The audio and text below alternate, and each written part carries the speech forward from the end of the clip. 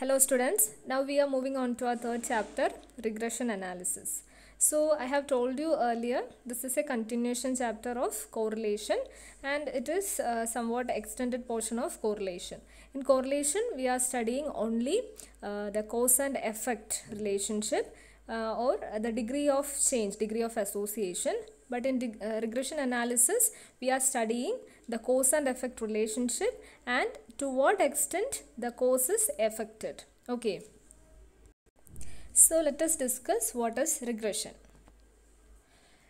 In regression, we are studying the cause and effect relationship between two variables. Whereas in correlation, we are just identifying the degree of association only. That is രണ്ട് variable തമ്മിൽ ബന്ധപ്പെട്ടിട്ടുണ്ടോ എന്ന് മാത്രമാണ് നമ്മൾ കോറിലേഷനിൽ പഠിക്കുന്നുള്ളൂ. പക്ഷേ റിഗ്രഷനിൽ അങ്ങനെയല്ല.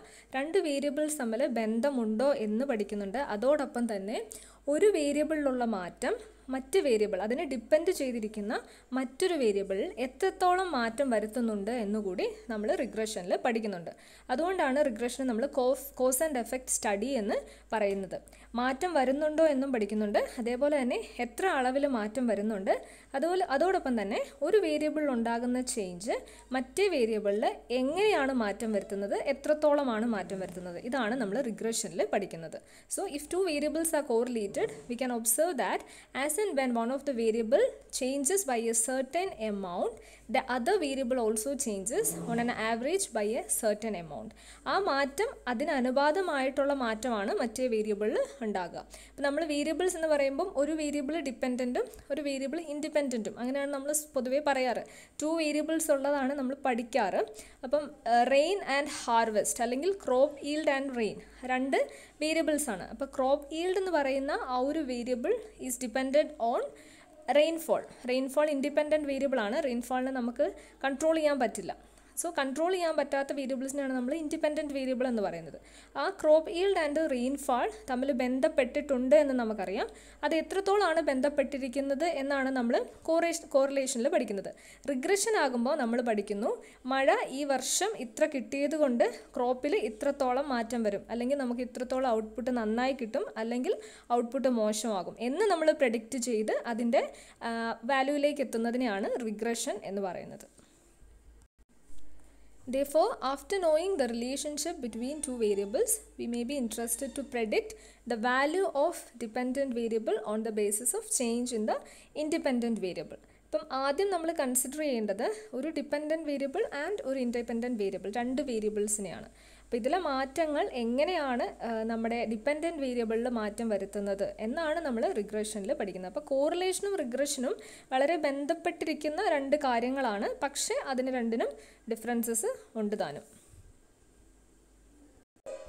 So we can see how can we define a regression.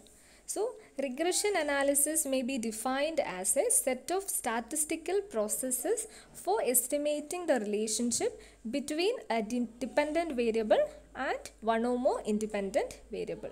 Estimating relationship ആ independent വേരിയബിളും ഡിപ്പെൻഡന്റ് വേരിയബിളും തമ്മിലുള്ള ബന്ധത്തെ നമ്മൾ കണ്ടുപിടിക്കുകയാണ് ചെയ്യുന്നത്. ബന്ധമുണ്ട് കോറിലേറ്റഡ് ആണ്. കോറിലേഷൻ ഉണ്ടെങ്കിൽ മാത്രമേ നമുക്ക് റിഗ്രഷൻ കണ്ടുപിടിക്കാൻ പറ്റുള്ളൂ. കോറിലേഷനും റിഗ്രഷനും ബന്ധപ്പെട്ടിരിക്കുന്നുണ്ട്.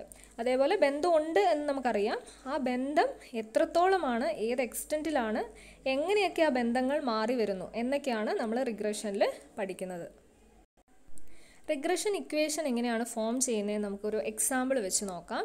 ഇപ്പം ഒരു മാനുഫാക്ചറിങ് കമ്പനി ആണെങ്കിൽ അവിടെ ടോട്ടൽ കോസ്റ്റ് ഓഫ് പ്രൊഡക്ഷൻ എന്ന് പറയുന്നത് രണ്ട് കോസ്റ്റുകളെ ഡിപ്പെൻഡ് ചെയ്താണ് ഇരിക്കുന്നത് നമുക്കറിയാം fixed cost and variable cost ഇപ്പോൾ ഫിക്സഡ് കോസ്റ്റിന് മാറ്റമില്ല. നമ്പർ ഓഫ് യൂണിറ്റ് പ്രൊഡ്യൂസ്ഡുമായിട്ട് ഫിക്സഡ് കോസ്റ്റിന് ബന്ധമില്ല. എത്ര യൂണിറ്റ്സ് പ്രൊഡ്യൂസ് ചെയ്താലും നമ്മൾ ഫിക്സഡ് കോസ്റ്റ് ഫിക്സഡ് ആയിട്ട് കൊടുക്കണം.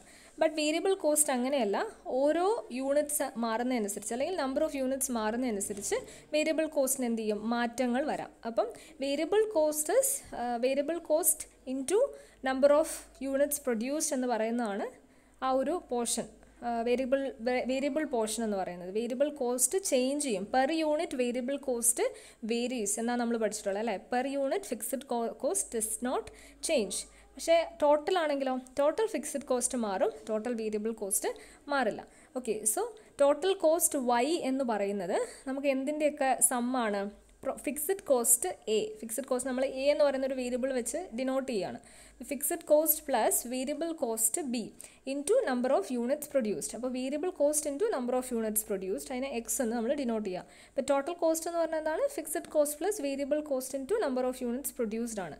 സോ അതിൽ വൈ എന്ന് പറയുന്ന total cost depended on dependent variable ആണ് ടോട്ടൽ കോസ്റ്റ് വൈ എന്ന് പറയുന്നത് സോറി എക്സ് എന്ന് പറയുന്നത് ഇൻഡിപെൻഡന്റ് വേരിയബിൾ ആണ്.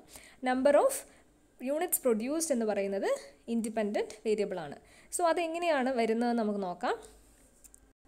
സോ നമ്മളങ്ങനെ ഇക്വേഷൻ ഉണ്ടാക്കി വെച്ചു. Total cost Y is equal to fixed cost E plus variable cost B into number of units produced X അതിൽ നമുക്ക് ഇൻഡിപെൻഡന്റ് വേരിയബിളും ഡിപ്പെൻഡന്റ് വേരിയബിളും കിട്ടി. ഇൻഡിപെൻഡന്റ് വേരിയബിൾ ഏതായിരുന്നു? ടോട്ടൽ കോസ്റ്റ് ആണ്. Total cost is depend on the number of units produced so it it is independent variable so ആ രണ്ട് variable നമുക്ക് കിട്ടി. പക്ഷേ ആക്ച്വലി നമ്മൾ ഈ ഒരു പ്രൊഡക്ഷൻ പ്രോസസ്സ് കഴിഞ്ഞ് കഴിയുമ്പം നമ്മൾ ഉദ്ദേശിച്ച ഈ ടോട്ടൽ കോസ്റ്റ് നമ്മൾ ഉദ്ദേശിച്ച പോലെ തന്നെ നിൽക്കണമെന്ന് നിർബന്ധമില്ല. അതിൽ കൂടാം അല്ലെങ്കിൽ ചിലപ്പം കുറയാം. കുറയാൻ സാധ്യത കുറവാണ്. കൂടാനാണ് സാധ്യത കൂടുതൽ. ഓക്കെ അങ്ങനെ കൂടുകയാണെങ്കിൽ അവിടെ ആ ഒരു ചേഞ്ച് വന്നിട്ടുണ്ട് അല്ലേ? നമ്മുടെ ആ ഒരു പ്രഡിക്ഷനിൽ നിന്ന് മാറ്റം വന്നിട്ടുണ്ട്. ആ ഒരു ഡിഫറൻസ് എന്ന് പറയാൻ നമുക്ക് എന്ത് പറയാം? Error in prediction error predicting at the value എന്ന് പറയാം. എററാണത് അല്ലേ? നമ്മൾ ആ പ്രഡിക്ഷനിൽ വന്ന എററാണ് ആ ഒരു വാല്യൂ എന്ന് പറയുന്നത്. അതിന് നമ്മൾ എന്ത് ചെയ്യുന്നു? ഇ എന്ന് പറയുന്ന ഒരു വേരിയബിൾ വെച്ച് നമ്മൾ ഡിനോട്ട് ചെയ്യുന്നു. സോ ഫൈനലി നമ്മുടെ റിഗ്രഷൻ ഇക്വേഷൻ എങ്ങനെയായി മാറും? Y is equal to A plus B X plus E അതിൽ ഇ എന്ന് പറയുന്നത് എറർ ഓഫ് പ്രഡിക്ഷൻ ആണ്. കാരണം നമ്മൾ പ്രഡിക്റ്റ് ആണ് ചെയ്യുന്നത്. ഫ്യൂച്ചർ ഈസ് ഓൾവേസ് അൺസേർട്ടൺ അപ്പോൾ പ്രഡിക്ഷൻ തെറ്റാൻ സാധ്യതയുണ്ട്. അതിന് നമ്മളൊരു മുൻകരുതലായിട്ട് നമ്മൾ വെക്കുന്ന ഒരു ലെവൽ ഓഫ് സിഗ്നിഫിക്കൻസ് എന്നൊക്കെ പറയും. അങ്ങനെ വെക്കുന്നതാണ് ഇ എന്ന് പറയുന്നത്. എറർ ദെൻ നമ്മൾ നേരത്തെ കണ്ട എയും ബിയും ബി ഇ ബി എന്ന് പറയുന്നത് എന്താണ്? ബി എന്ന് പറയുന്നത് വേരിയബിൾ കോസ്റ്റ് ആണ്. So it should be multiplied with number of units produced നമ്മുടെ റിഗ്രഷൻ ഇക്വേഷൻ ഫൈനൽ ഫൈനലി നമുക്ക് കിട്ടി. Y is equal to A plus B X plus E അപ്പോൾ ഈ ഇക്വേഷൻ ഞാൻ പറഞ്ഞത് ഇതിന്റെ ഒരു മോഡൽ പറഞ്ഞത് എന്തിനാണ്? ഇങ്ങനെയാണ് നമ്മൾ ഈ റിഗ്രഷൻ ഇക്വേഷൻ ഫോം ചെയ്യുന്നത് എന്ന് പറയാനാണ്. ഒരു ഇൻഡിപെൻഡന്റ് വേരിയബിൾ ഉണ്ടാകും വേറെ ഒരു ഡിപ്പെൻഡന്റ് വേരിയബിൾ ഉണ്ടാകും. അപ്പോൾ അതിനെ രണ്ടിനെയും വെച്ചിട്ടാണ് നമ്മൾ റിഗ്രഷൻ ഇക്വേഷൻ ഉണ്ടാക്കുന്നത്. അതിൽ നമ്മൾ ഒരു ചാൻസ് ഓഫ് എററിന് വേണ്ടി കീപ്പ് ചെയ്യുന്നതാണ് ഇ എന്ന് പറയുന്ന variable so we can see what are the variables representing where Y is equal to value of dependent variable what is being predicted or explained value of dependent variable ആണ് Y so Y is regression equation എന്ന് പറയുന്നത് ഒരു equation ആയിരിക്കില്ല ഉണ്ടാവുക രണ്ട് equation അത് നമുക്ക് ഇനി മുന്നോട്ട് പോകുമ്പം കൂടുതൽ ക്ലാരിറ്റി കിട്ടും. ഓക്കെ അപ്പോൾ ഇപ്പോൾ ഇത് നോക്കുക. Y is equal to A plus B X plus E എന്ന് പറയുന്നതിൽ വൈ എന്ന് പറയുന്നതാണ് നമ്മുടെ ഡിപ്പെൻഡന്റ് വേരിയബിൾ ദെൻ എ എന്താണ്? എ എന്ന് പറയുന്ന ഇന്റർസെപ്റ്റ് ആണ്. ബി സ്ലോപ്പ് ആണ്.